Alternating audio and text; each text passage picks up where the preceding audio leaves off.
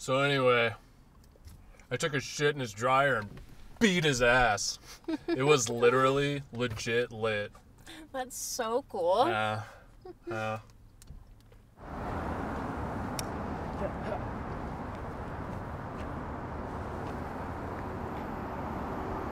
Oh my god. hey, I thought that was you. Do you remember me? I don't think so. I tried to stretch your skin into a beanbag chair in the mountains a couple weeks ago. Oh, that's right. How are you? Things are great. I got a new freezer in my basement. Wait, who's this guy? Um, this is Tyler. What up? Wait, I'm confused. You hate riding in people's trucks. No, I don't. Well, you hopped out of mine with no thought for my feelings. Well, could it also have something to do with the fact that you wanted to murder me in the woods? Oh, I see. So you'll get ice cream with this asshole, but being turned into a throw pillow on my couch is suddenly too much. I'd prefer not to be turned into any kind of furniture. She's not interested, bro. Back off.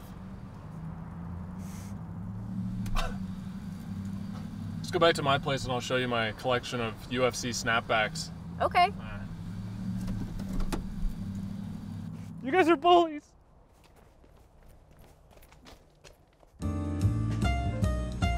Stay tuned for the thrilling continuation of that series. But anyway, met up with Kat in the city this time because she wanted to learn a little bit of street photography, which I pretend to be good at. So we went out around sunset, um, early golden hour. We didn't stay out super long, but just enough time to get some nice light and shadow, and then golden hour throughout the city. So concentrated mostly on the high contrast stuff, which I usually do. Um, I usually tend to use the Lumix for this kind of stuff, but I had let Kat use it, so I took the giant 24 to 70 on the Sony a7 III, which I'm quickly becoming a little bit tired of. Just the sheer size of it means everybody knows I have a camera, and I've been drawing myself more towards small compact cameras, so I'm actually considering getting a Ricoh GR3X whenever it finally comes out. So if any of you guys have used a Ricoh GR3, let me know. I'm just not a huge fan of the 28 millimeter, but as far as the camera itself, if you could just let me know how you're liking it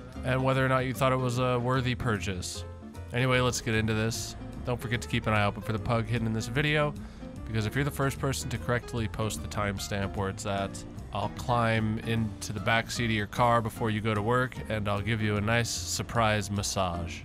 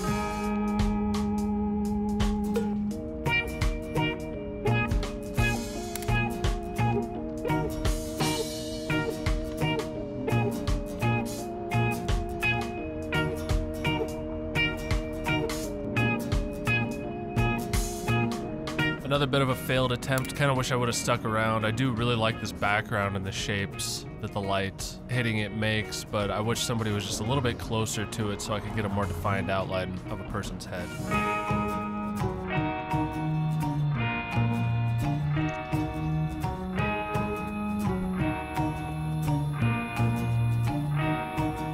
This one and actually this spot turned out to be probably my favorite of the day. Just the way that the light streaming through these slats and the little fence make these nice lines on everybody walking. So I waited for a, a couple to go and luckily he was kind of whispering in her ear and then I got Kat in the background too, shooting a different scene.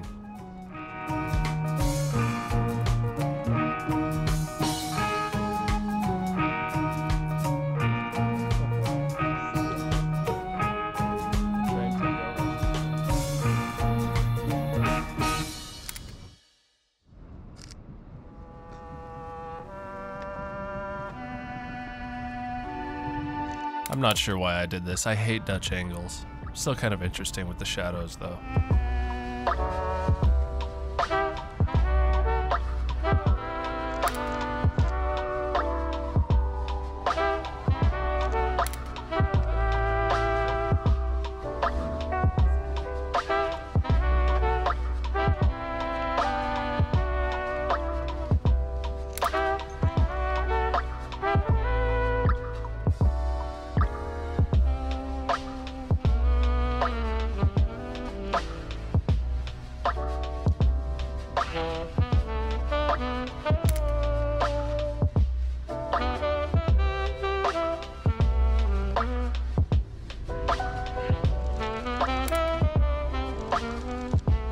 I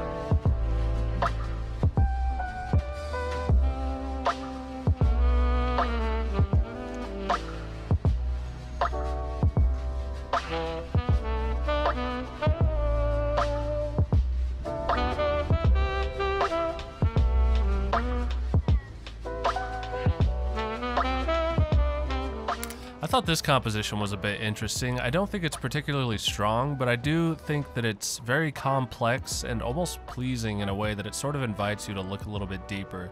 I do wish that the subjects were a little more pronounced though.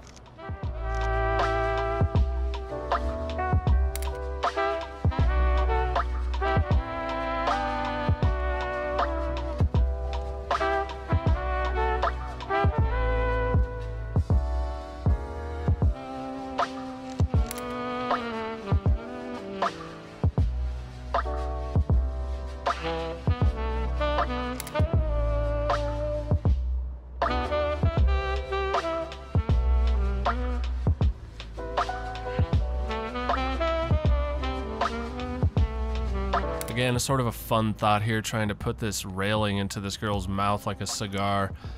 But I was also trying to catch Kat in the reflection with her silhouette, but I think she was just a little bit too small in the frame to really be noteworthy.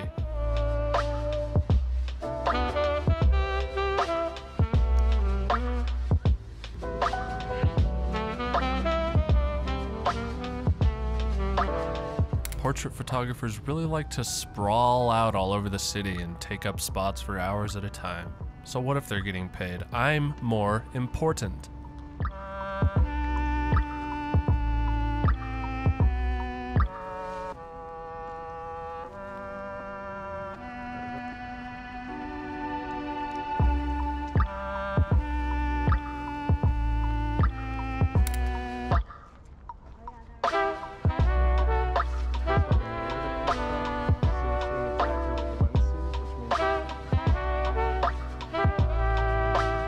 This is probably another one of my favorites. I caught her in the perfect stride and her shadow just happened to line up on that pillar just at the right time.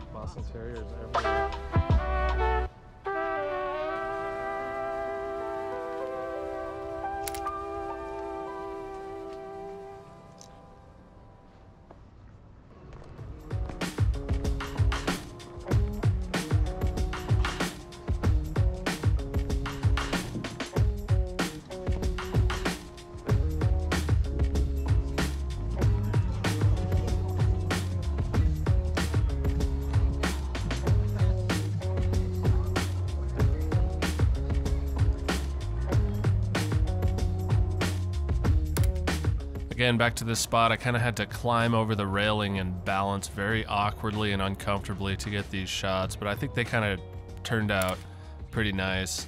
I love these lines, and I love how the light hitting these guys in the face just happens to be right where there's shadow in the background, so they stand out really nicely.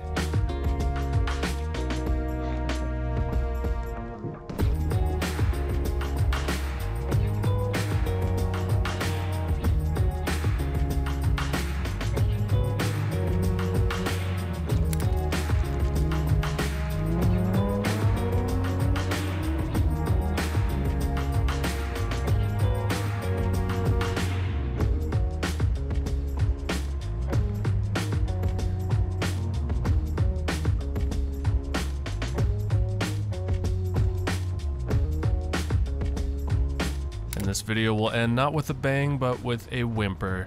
and the final shot being some silverware and glasses. I do really enjoy these shots though. I think they convey some nice peace to them. Anyway, I really appreciate you guys watching this far. I got some really interesting and ridiculous ideas coming here pretty soon, so make sure you get subscribed and like this video so it gets pushed to more people that can laugh at how stupid I am. Anyway, I'll see you in the next one.